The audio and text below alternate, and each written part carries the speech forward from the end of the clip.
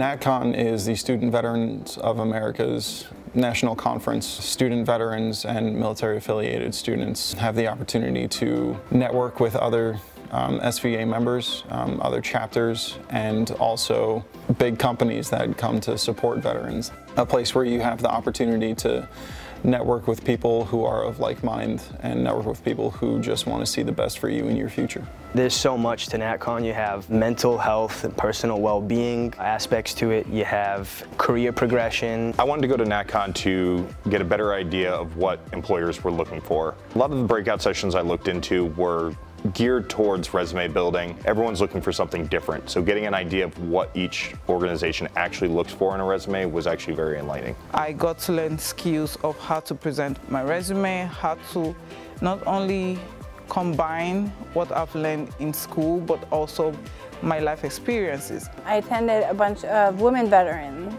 um, breakout sessions and learned ways that I can help myself and other women veterans in the community. I got a, a, bunch of really good slides and resources that I saved and sent to myself to always reference later. I was blown away by how many people came. It was packed with people and how much each speaker only cared about helping everyone there. I really wanted to you know, network with veterans and see like what their um, transition was like and, you know, get a little bit more information on how it worked for them and like transitioning back going to school full time. If you have the opportunity to go to NatCon, you need to.